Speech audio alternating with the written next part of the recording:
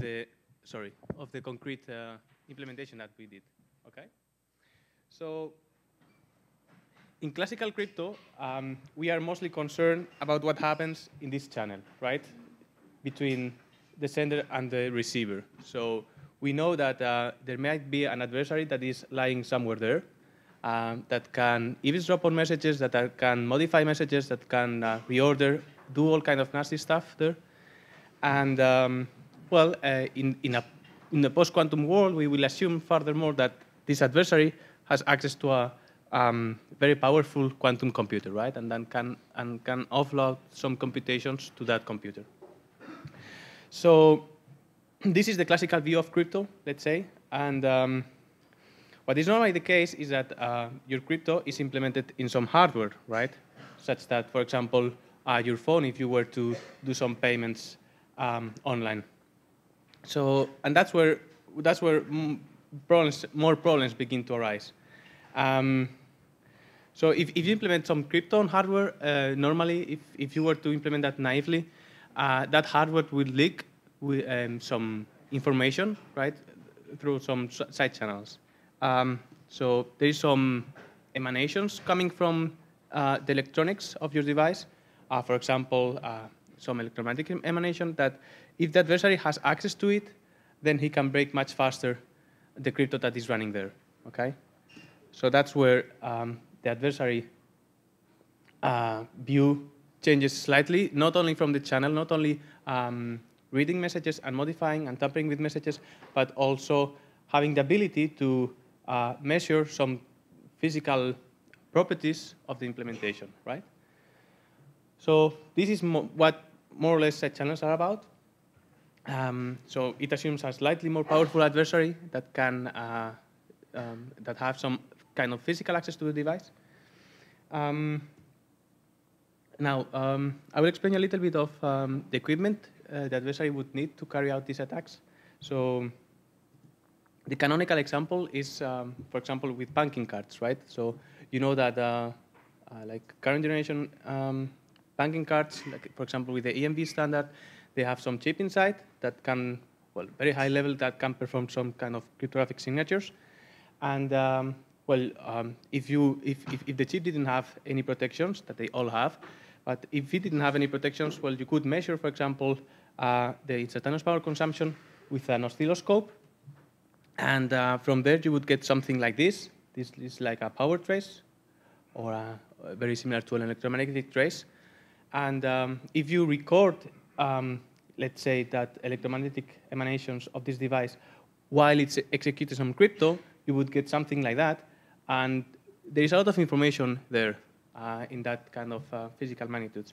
For example, you could see that there is some patterns that repeats itself like around 10 times, and then you could see, you could uh, begin to imagine that that could maybe be your AES or um, something like that. So you could start telling which crypto is running there, um, how is it implemented, and um, well, although I have explained it with a very classical example that is uh, banking cards, um, the same story applies to many other kind of hardware.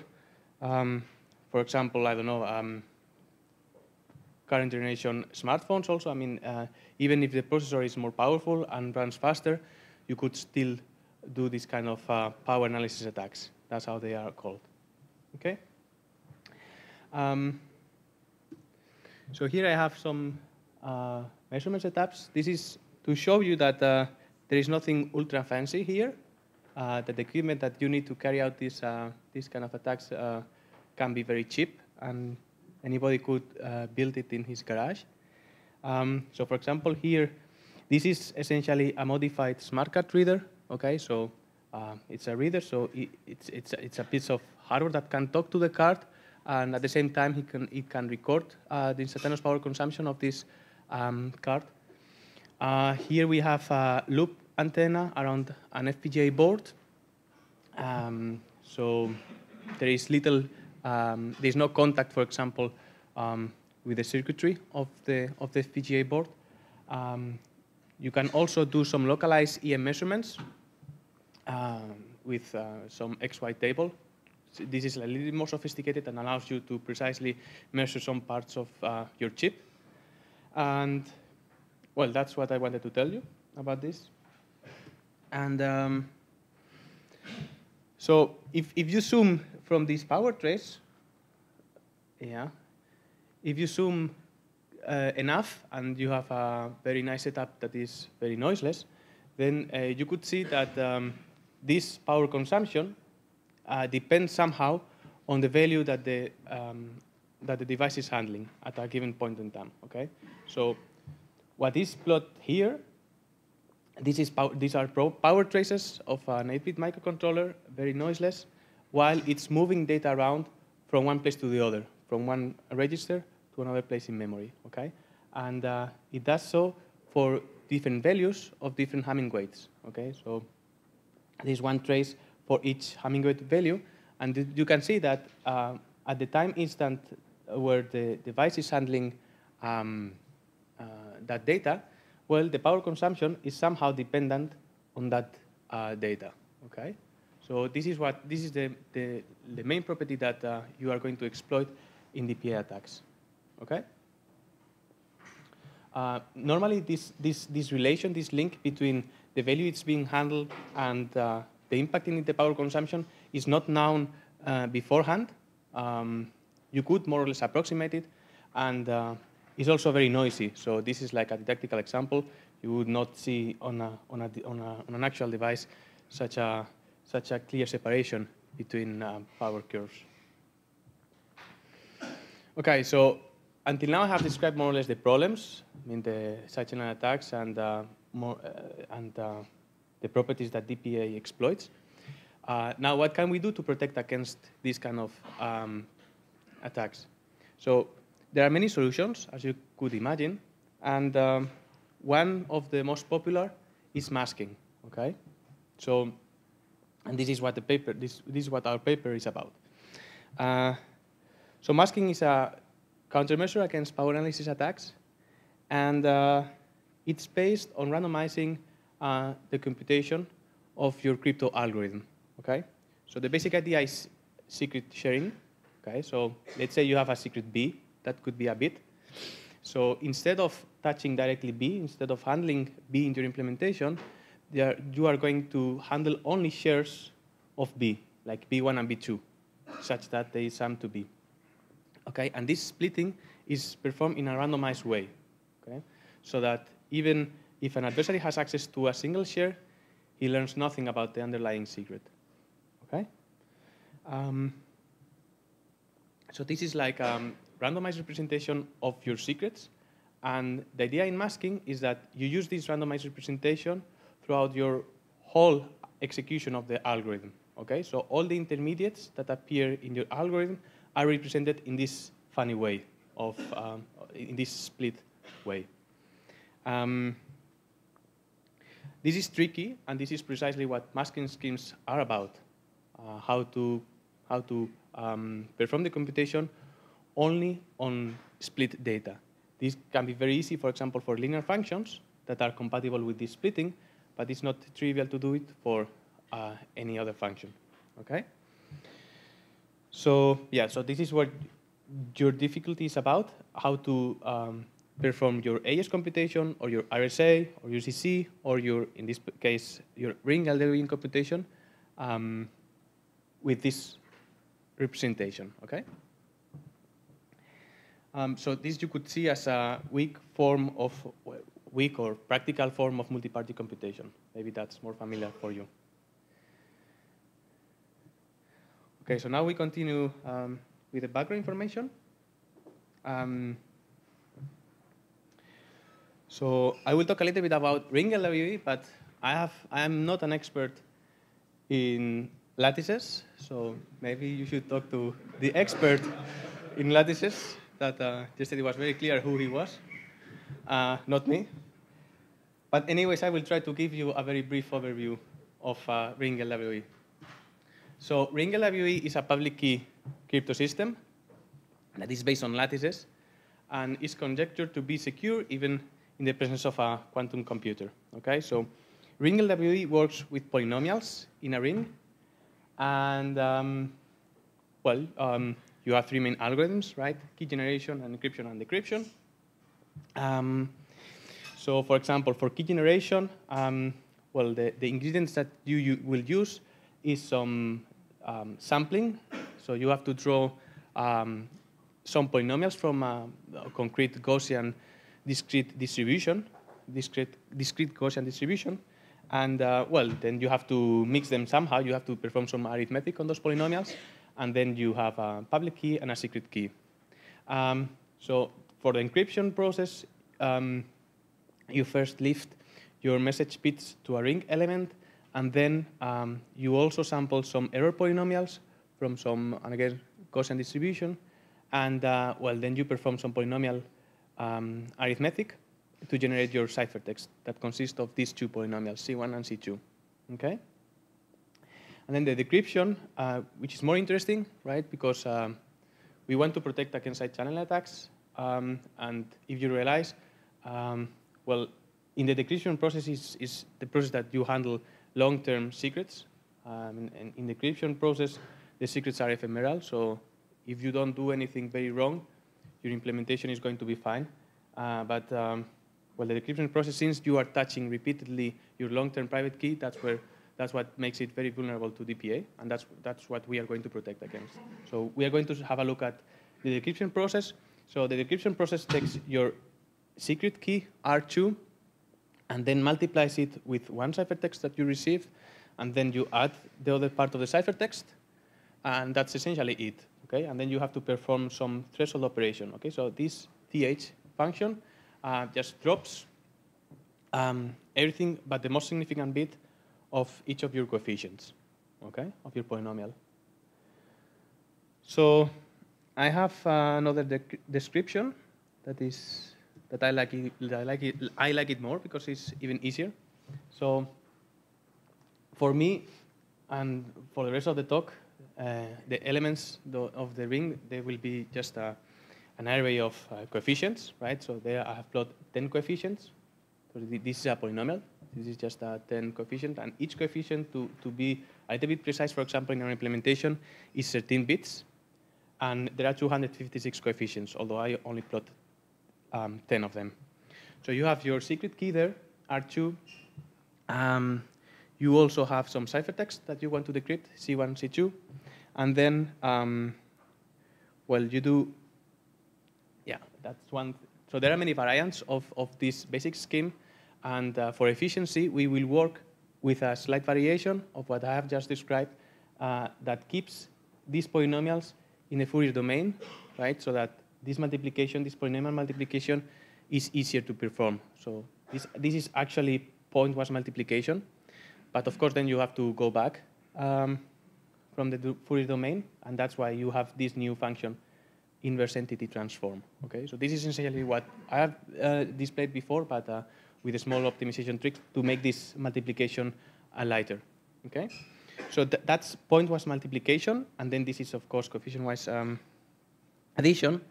Um, so what you do is uh, you take your each coefficient of your private key, you multiply it with one ciphertext, you sum another coefficient of the other part of your ciphertext, then you perform a linear operation on the whole polynomial, right? And then you apply coefficient-wise uh, your threshold operation okay? And then you get bits. So here you had a like 13-bit coefficient, and then at the end you have 256 bits that correspond to your message. So there have been already proposed um, other maskings of, of ring LWE, and uh, I will, just last year we proposed um, one approach, and the idea here was to split your secret right? Arithmetically spli uh, split your secret R, R2 into two polynomials. And then, uh, well, everything, um, the bulk of the computation is very amenable to this splitting, right? Uh, there is a lot of things that are linear, so that allows you to um, perform almost everything in two different branches, okay? I, I don't have time to explain this in detail, mm. And maybe you already read also the paper. Um, but yeah, so you, you, basically perform half of the computation, and then you repeat the same with the other share. And then what is very funny is that, um, well, this threshold operation that is uh, apparently very simple, right? That is just dropping everything except the most significant bit. Um, to perform it in a masked way is not straightforward, so that's why we designed a custom mask decoder. And that's actually the, the, the, the meat of, the, of, the, of, of this method, right? To how to compute this function um, in the mask domain, outputting shares. Uh, so I'm not going to explain what we did. I, we work with quadrants and um, and um, it's um, yeah. We also have some mask table inside. Um, but the, what I wanted to say you is that um, this was not very easy to implement. Um, so this mask decoder was something that we pull off, um, uh, I mean, that we invented. So this is not something um, we would like to implement many times. So we ask ourselves the question if we could get rid of this decoder, okay? If we could work without this custom component, and that's what this masking is about, the, the, the masking of the, of the paper that we are presenting now is about, okay? So the idea, the basic idea is extremely simple, uh, and the mathematics behind it are also very, very simple. And, um, well, the basic idea is ciphertext blinding, okay? For you to, that, uh, that, uh, that know about this. So the basic observation is that the decryption process is additively homomorphic, okay? So the decryption of a sum of ciphertext is the sum of the decryptions, okay? So what you use, what the idea that um, we are going to use is that instead of calling uh, the decryption process uh, with some ciphertext you receive, well, you are going to move this term to the right-hand side of the equation, and then um, you are going to compute a random ciphertext, C1 prime and C2 prime, uh, decrypt that random ciphertext, and then perform the decryption not on the ciphertext that you received, but on the sum of the ciphertext that you receive and the randomly generated ciphertext. Okay, so that's your. This is your mask actually. So what I have just said is just um, well the implementation. What it does, it it first generates some random message m prime. Okay, that this is this is unknown to the adversary. This is secret, and this change every time, every execution of the algorithm, a new m prime is generated. Then the implementation encrypts this m prime to some to some ciphertext C1 prime, and then instead of calling directly the decryption with C1 C2, he will add the C prime, the ciphertext that he just computed, to the ciphertext that he received, and then call the decryption on this whole um, thing. And then he will recover the sum of the message and um, the random message that he generated at the first place. Okay, so this is essentially ciphertext blinding.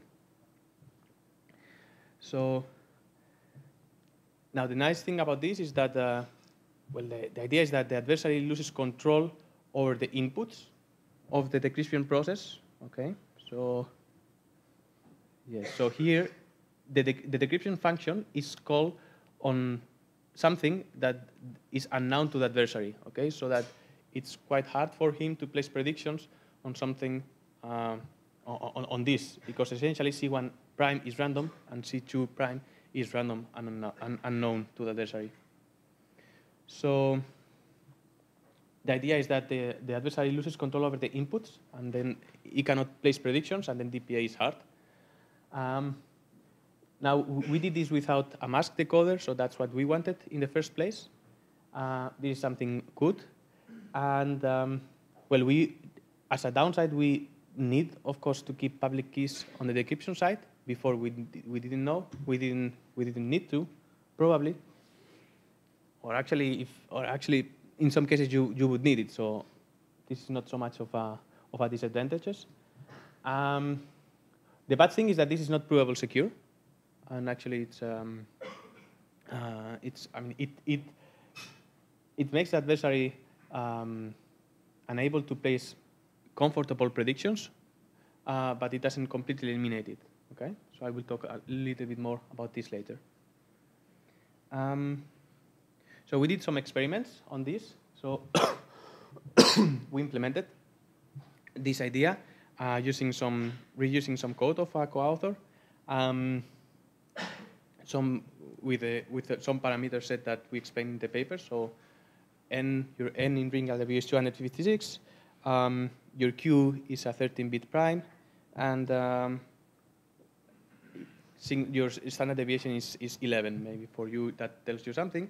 Um, now there's a it's not very clear how much security this provides you, as we heard yesterday. Um, some people argue that this barely gives you 80 bits of security. It's probably the case, and but I mean, this is uh, this implementation that we had, and um, we are not recommending this for an actual deployment. I mean, you would have to do your research on what's the good parameter set. Um, so this is the board that uh, you saw also in the first in the presentation of the first day of Ingo. Uh, this has a 32-bit ARM microcontroller. So this is something uh, like mid-range that you could find in a, in a mid-range smart card, something like that. Um, so this is an antenna, a loop antenna. Uh, so this measures the electromagnetic radiation of uh, this chip. Um, so this is some, somewhere on top of a decoupling capacitor. And um, yeah, well, um, so this is what we, this is what you get more or less if you take one trace. So if, if, if you um, connect that antenna to an oscilloscope and record the instantaneous electromagnetic emanation of this chip while it's performing some, the, the whole process, you see something like this. And uh, you don't see much. Uh, if you kill yourself, and uh, then you can see that there are some, some things that are repeated. And uh, it becomes more clear if you do some kind of autocorrelation trace. So this is essentially the same information as the picture before, but uh, but in 2D, right? So this, so this is about this is an EM measurement. So this is time, right? And this is electromagnetic uh, radiation. Uh, this is sampled very very fast, right? Like uh, I don't remember now, but probably hundreds of megasamples per second. Um, so this is time, and in this picture, this is also time, and this is also time. So time flows from this corner, from upper left corner to lower right corner. And this is autocorrelation, so you have here a scale of colors that gives you similarities. Okay, so one is very similar, and zero is uh, very dissimilar. And well, if, if, if, if this pixel is, uh, let's say, red, this means that, uh, um, well, the part of the trace corresponding to these time samples is quite similar to the part of the trace um, corresponding to those time samples, okay? so you can see that there is some structure. You can see um, some loops. And, um, well, this is a single trace of, of, of the countermeasure.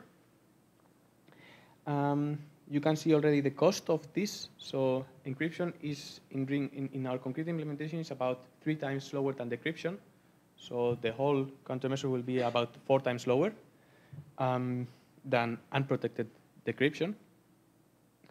And well, we DPA it. so first we DPA it when the masks are off to, to make sure that we could uh, um, that we could attack this. And um, well, here here you have like assumed version of the EM trace that I showed you before.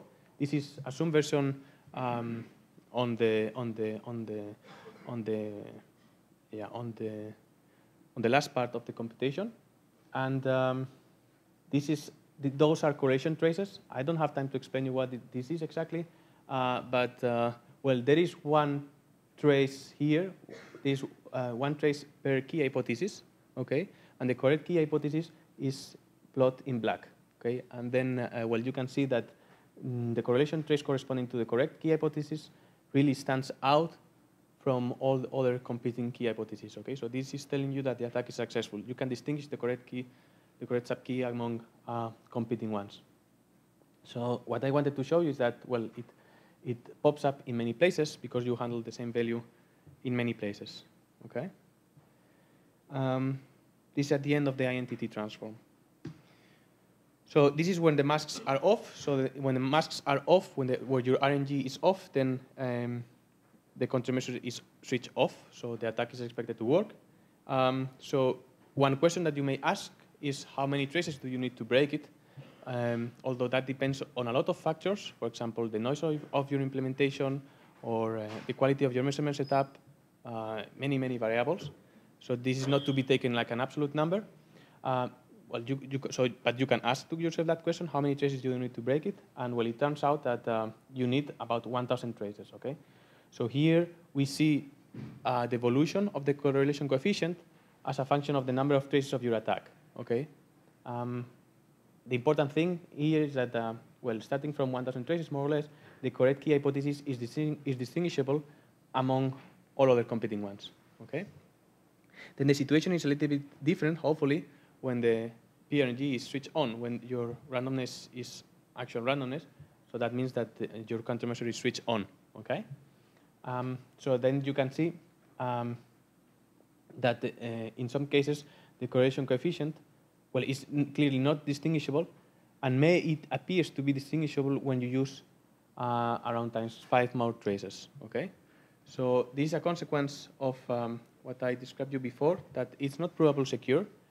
Uh, it uh, makes it hard to place hypotheses, but still the adversary can place some hypotheses on intermediates. Uh, they are not very accurate, and that's, that's, that's the point of the countermeasure.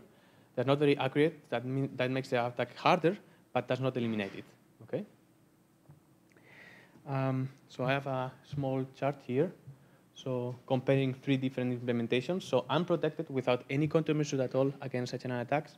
What we propose in CHES and this new countermeasure. So with respect to security, um, this countermeasure, you could prove it secure. We cannot prove it secure, and uh, the, the, consequences we just saw. And but let's say uh, that the implementation difficulty in this case is quite high, and in our case, it's um, it's quite simple. You can you, you don't need any any more any other component, any other ingredient that you would that you already have, right? So you only need uh, an additional encryption call, but you don't need a mask decoder. Um, so this column is clear. So unprotected doesn't give you any security against side channel. That's very clear. Um, now this column, so we already uh, talk about this difference, and uh, well, this the difficulty of this approach is essentially the same one as unprotected. Once you have an unprotected implementation, it's quite easy to mask it this way. And the overhead is, well, if, if we take as a baseline, let's say one, uh, for the unprotected one, then the countermeasures that we present will be around four times slower uh, in terms of cycles, and this countermeasure will be uh, slightly, uh, slightly faster. Okay. So that's everything that I wanted to tell you. So we presented a cheap masking of Ring LWE. Um, it's not provable secure, but it increases DPA resistance. Uh, it's quite easy to implement. Uh, it's quite easy to upgrade some implementation that we already have from unmasked to masked, and uh, it incurs in a manageable overhead. So if you have any questions, I would like to try to answer them.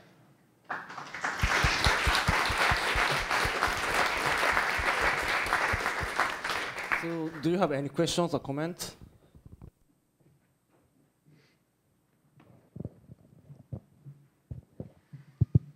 Uh, do you, have also any any guess as to how sensitive this is to an active adversary who tries to uh, interfere with your random number generator? Yeah, that's a very good question. Um, so in masking, if you can tamper with the RNG, then then you are then you are dead essentially. I mean, masking relies on the fact that your RNG works. Otherwise, you have an if if if you can fix your RNG to zero, if you can fix your output of your RNG to zero, then you effectively switch off your countermeasure. So I mean, typically you you don't implement masking alone. You would also implement some kind of uh, detection mechanism. Can be circuitry, can be um, can be on-the-fly testing, for example. I mean, the chip can first get some bits of the RNG and do some tests to check that they are actually random and that there is nothing wrong there. Um, so typically, you would have to implement some some additional um, mechanism to check that, for example, your RNG is actually giving you random numbers. So there is no security whatsoever if you can tamper with the RNG. That's common to all maskings. Any other questions? Um, so thank you for the presentation. Uh, my understanding is that the, the LWE decryption is also key homomorphic, right? You can, there's a homomorphism on the key side. And isn't, isn't, isn't it more natural to use that one? Because then you mask the actual secret? Yes. Uh, yes, that's, that's essentially the CHES version. That's essentially what we propose in CHES. To split the key, and then perform, perform the computation on one share of the key, and then on another share of the key. So in, in, in CHES, we, we, we mask the key. We split the key. It's, it's almost key homomorphic, but it's not completely key homomorphic, up to the threshold operation. Okay, so that's, so you can, so let me go for the slide.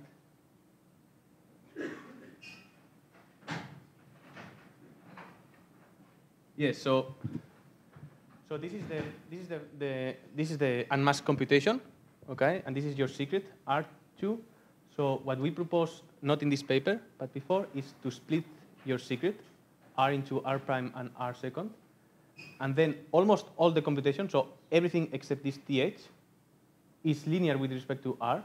So if you split R2, uh, then you get uh, like two big computations that you can perform.